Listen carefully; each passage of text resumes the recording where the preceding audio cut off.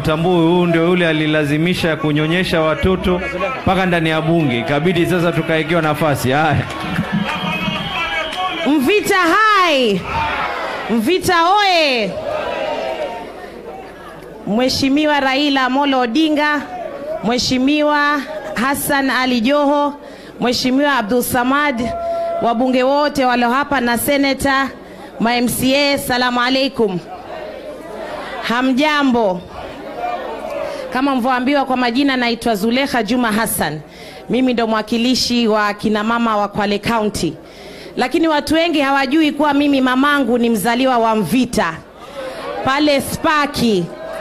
Babu yangu alikuwa akiitwa Ahmed Zaid, alikuwa akikanda watu miguu, na mpaka sasa mjombangu mwalimu akanda watu miguu na wale wanaovunjika.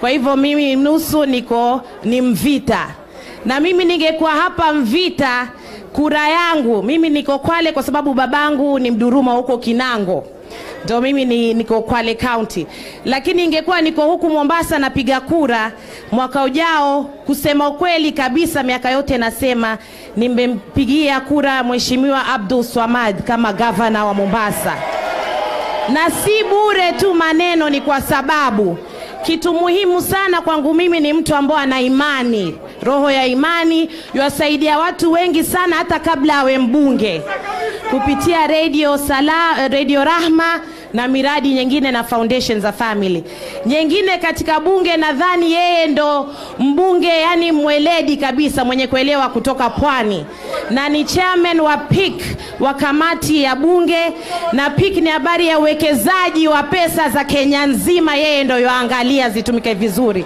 Kama yaweza kuweka hisabu ya Kenya nzima ya uwekezaji, je, Mombasa County itamshinda? haimshindi. Kwa hivyo mimi nawahusia watu wa Mvita na Mombasa, inshallah mwaka ujao kura kwa Mheshimiwa Abdul Swamad, na mimi pia wale famili zangu walioko Mombasa bado wako hapa, nitawahimiza hivyo hivyo wakupigie kura mheshimiwa. Kwa Mheshimiwa Joho kuko, naomba kuchukua nafasi hii, wewe peke yake ndio kiongozi hapa Pwani ambao waweza kutuleta sisi viongozi wa Pwani pamoja. Kwa hivyo naomba uendelee na hivyo hivyo, tulikoko Lamu last time unatupeleka, uendelee hivyo hivyo kutushika viongozi wa pwani, kutupa mwelekeo. Twaona sehemu nyingine za Kenya watu wanakutana na rais, at least huu mwaka uliobaki waweze kupata miradi ya maeneo yao. Naomba wewe ushikane na baba na sisi, mtuchukue mtupeleke kwa Mheshimiwa Rais Uhuru Kenyatta inshallah. Na mwisho kwa Mheshimiwa Raila, baba yetu, baba baba. Baba. Kwa Mheshimiwa Raila Amolo Odinga, nataka kukuomba msamaha. Kwa niaba ya wale Wakenya wote wengine, yani baadhi wachache ambao hawajifahamu wanarusha maneno haya na yale, lakini kila mtu kwa Mkenya ndani ya roho yake anajua kuwa hakuna mwenye mwingine na utufaa kwenye uraisi kama Mheshimiwa Raila Amolo Odinga.